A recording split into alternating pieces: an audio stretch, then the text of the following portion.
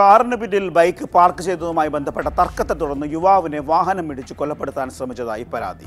അപകടത്തിൽ ഗുരുതരമായി പരിക്കേറ്റ കട്ടപ്പന സ്വദേശി കാരിയിൽ ക്രിസ്റ്റോ മാത്യുവിനെ എറണാകുളത്തെ സ്വകാര്യ ആശുപത്രിയിൽ പ്രവേശിപ്പിച്ചു.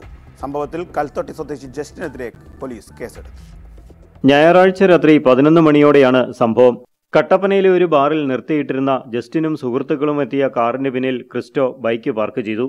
ഇതേ ചൊല്ലി ഇരു കൂട്ടരും തമ്മിൽ തർക്കമുണ്ടായി. സമീപത്തുണ്ടായിരുന്നവർ ഇടപെട്ട് പ്രശ്നം പരിഹരിച്ചു.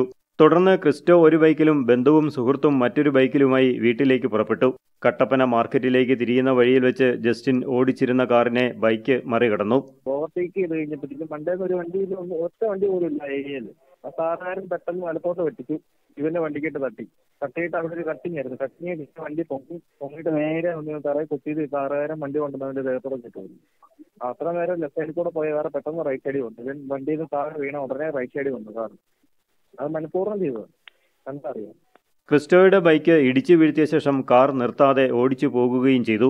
ഒപ്പമുണ്ടായിരുന്ന സുഹൃത്തുക്കൾ ചേർന്ന് കട്ടപ്പനയിലെ സ്വകാര്യ ആശുപത്രിയിൽ എത്തിച്ചു. ക്രിസ്റ്റോയുടെ നാല് വാരിയല്ലുകൾ ഒടിഞ്ഞു. ഏഴെണ്ണത്തിന് പൊട്ടലുമുണ്ട്. ശ്വാസകോശത്തിനും മുറിവേറ്റിട്ടുണ്ട്.